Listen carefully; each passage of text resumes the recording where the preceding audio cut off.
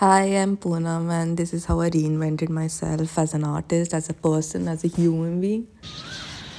As an adult, ate ate we become like everything has to be perfect. It, it has to have has a certain level of perfection and a certain level of beauty. And I wanted to unlearn all of that and started from scratch. Started looking at flowers, leaves, clothes, everything in a way that okay, I'm not an adult, I'm a child. I want to be in awe, I want to say wow, I want to be like Jannat, Jannat dekh li maine. I started one day, one bookmark at a time and